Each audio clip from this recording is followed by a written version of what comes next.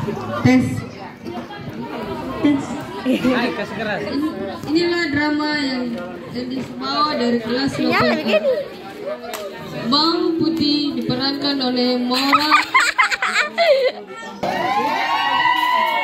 Ayah Bawang Putih diperankan oleh Antonius Ibu Bawang Merah diperankan oleh Aurel Dan nenek yang baik hati diperankan oleh Mesa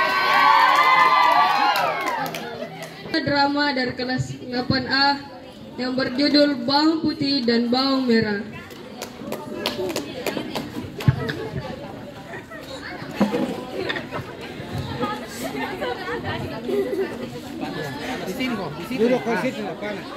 Pada zaman dahulu, hiduplah keluarga kecil yang bahagia.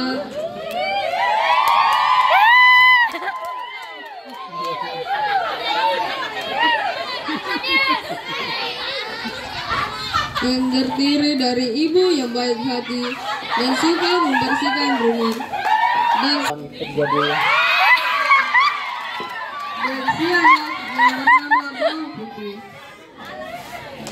Namun kebahagiaan tersebut tidak berlangsung lama sang ibu menderita penyakit dan membuatnya meninggal.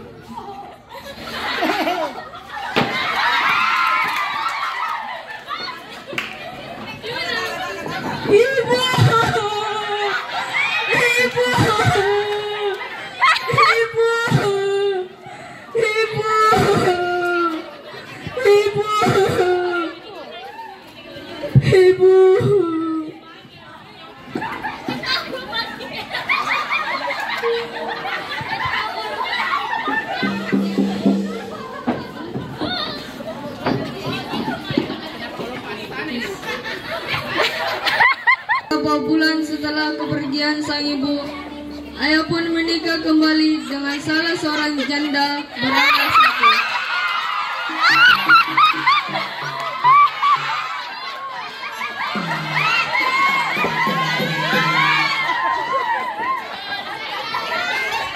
dan putih perkenalkan ini kakak baru bawang merah dan ibu baru.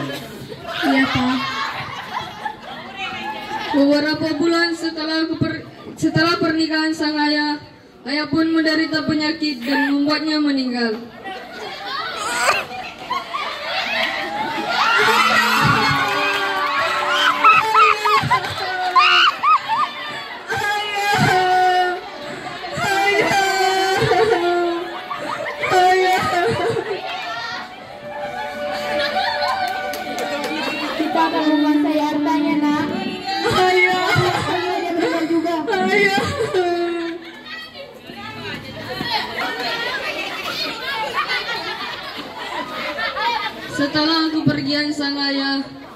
Bawang Putih pun diperlakukan sebagai pembantu.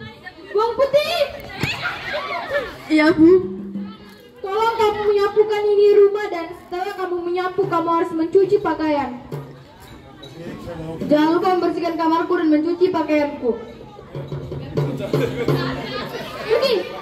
Baik, Bu. Baik, Kak.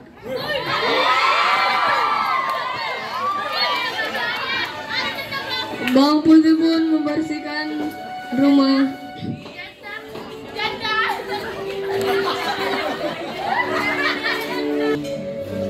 Setelah Bawang Putih membersihkan rumah, ia pun pergi mencuci pakaian kakak dan ibunya di sungai.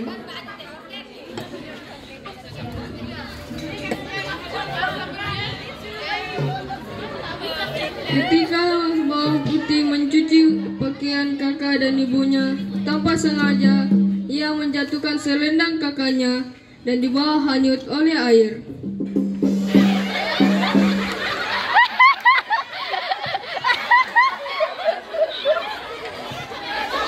Hanyut, hanyut.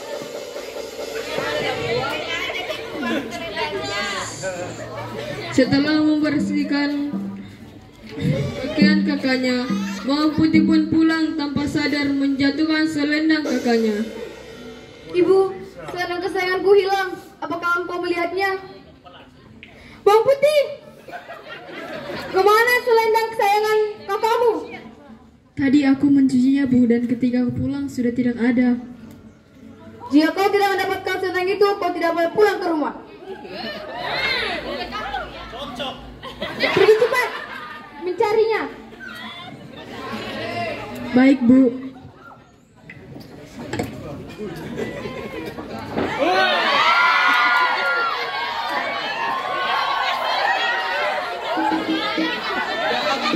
Putih pun pergi mencari selendang kakaknya.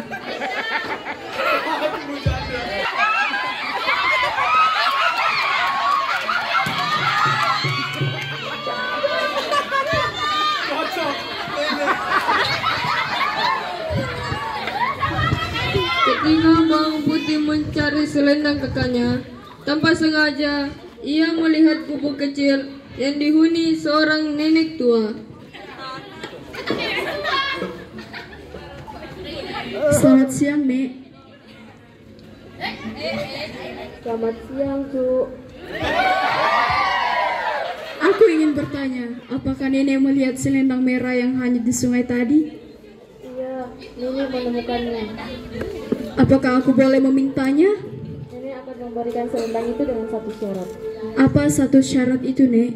Kamu harus tinggal bersama Nenek dan mem- membantu Nenek membersihkan rumah. Baik, Nek.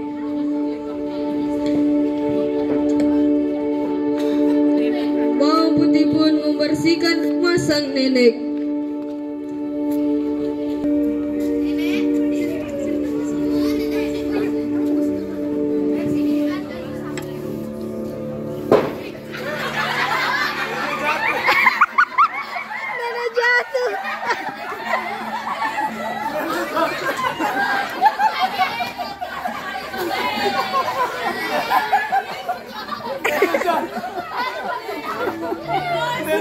Keesokan harinya, setelah bawang putih membersihkan rumah sang nenek, ia pun menjumpai sang nenek untuk meminta selendang kakaknya.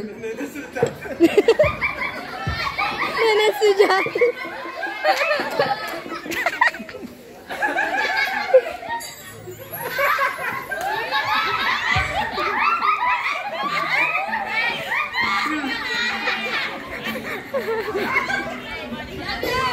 Pekerjaanku telah selesai. Apakah boleh aku meminta selendang merah itu?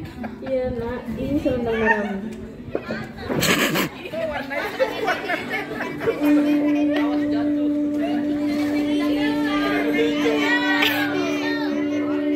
Sebelum kamu pulang, pilihlah dua lagu ini.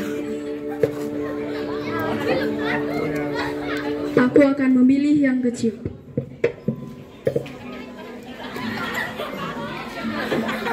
Jangan buka lagu itu di jalan. Bukalah sampaimu di rumah. Baik, Nek.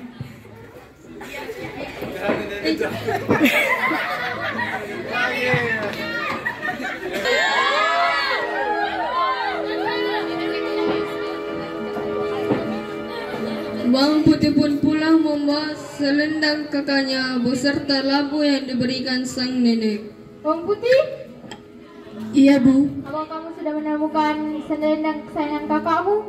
Ini selendangnya, Kak. Dari mana kamu mendapatkan lagu itu?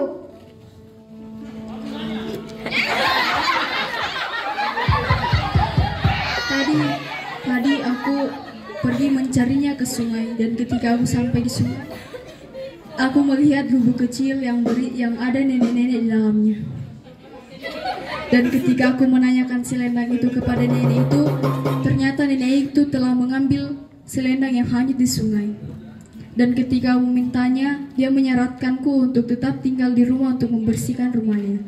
Dan ketika aku selesai membersihkan rumahnya, aku diberikan selendang itu.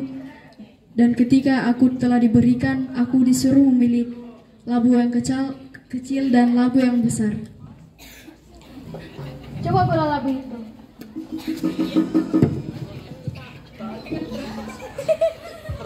Wah, kenapa isinya emas? Baiklah, tinggallah di rumah untuk membersihkan rumah. Aku dan ibu ingin pergi. Baik bu, baik kak. Mau merah pun pergi ke sungai dan sengaja menjatuhkan selendang merahnya di sungai.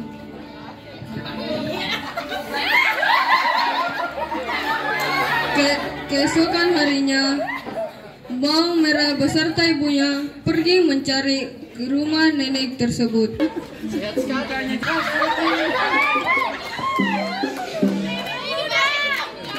Ketika di perjalanan, bawang merah beserta ibunya melihat gubuk kecil.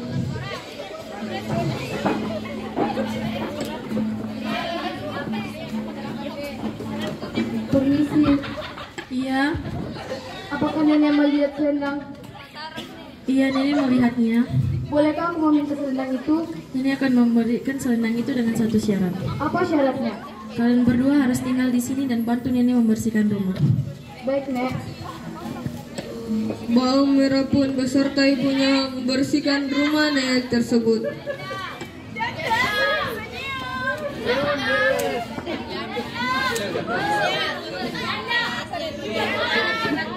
Ibu, aku sudah tidak tahan. Aku tidak terbiasa melakukan ini. Ibu juga, nak. Keesokan harinya, ketika bawang merah dan ibunya sudah menyelesaikan tugasnya, ia pun menemui sang nenek untuk meminta selendang. Permisi, Nek. Tugasku telah selesai. Bolehkah aku meminta selendangku? Iya, ini selendangmu. Terima kasih, Nek.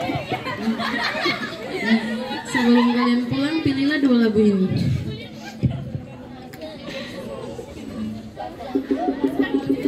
Ibu, kita harus pilih yang mana? Yang besar saja, nak. Siapa tahu yang lebih bagus. Nek, aku pilih, pilih yang besar. Iya, ambillah.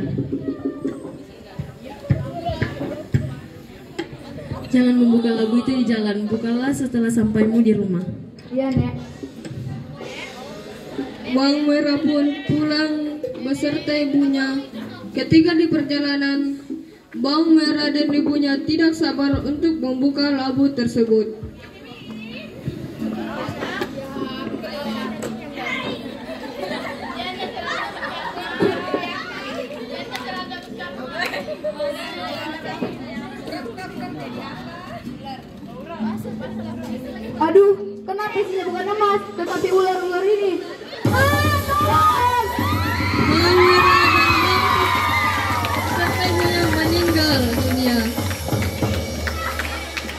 Berakhirlah kisah bawang merah dan bawang putih.